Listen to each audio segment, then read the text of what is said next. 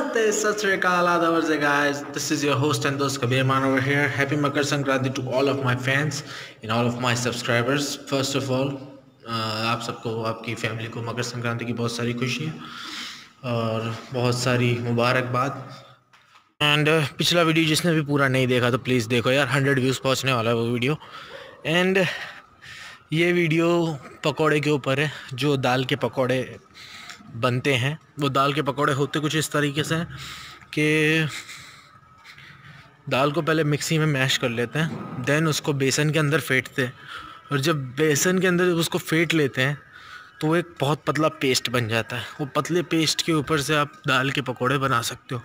सो so guys इस video को पूरा देखना guys please and for sure मैं और भी आगे अच्छे वीडियोस लेके आऊँगा। एडिटिंग भी अच्छी करूँगा। एंड आप लोगों का सपोर्ट रखो। तो गाइज़ फ़र्स्ट ऑफ़ ऑल हर ज़िंदगी के अंदर दो तरह के लोग होते हैं, हर लाइफ के अंदर दो तरह के लोग मिलते हैं। एक वो जो झूठ बोल के किसी का भरोसा जीतते हैं और एक वो जो सच कह के किसी को खो देते हैं।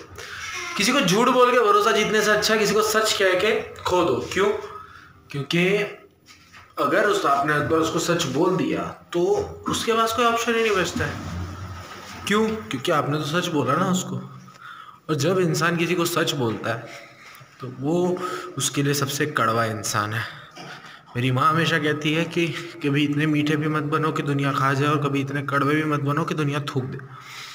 सो so, उस हिसाब से मैं भी बोलता हूँ कि जो भी बोलो सच मुँह पे बोलो यार बिकॉज़ पीठ पीछे बोल के कोई मतलब नहीं होता किसी को। तो उस तरीके के दो तरह के लोग होते हैं। एक जो हमेशा सच बोल के आपसे दूर चले जाएँगे और जो झूठ बोल के आपको अपना बनाएँगे। Be aware of that thing thought of the day so video पूरा देखना। अड़तालीस सेकेंड टाइम नहीं चाहिए। मुझे पूरा वीडियो देखने वाले लोग चाहिए। ठीक है? पूरा वीडियो देखना। प्लीज़ यार, देख लो, तुम्हारा भाई हो यार। कोई चुनता ही नहीं है। देखना।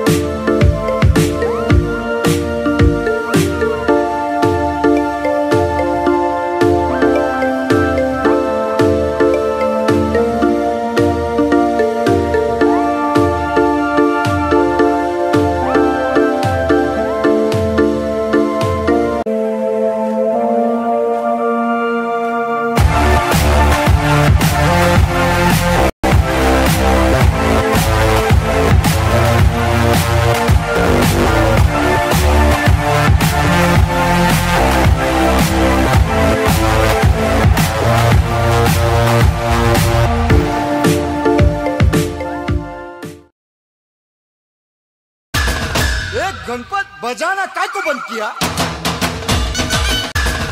एक गणपत बजाना काय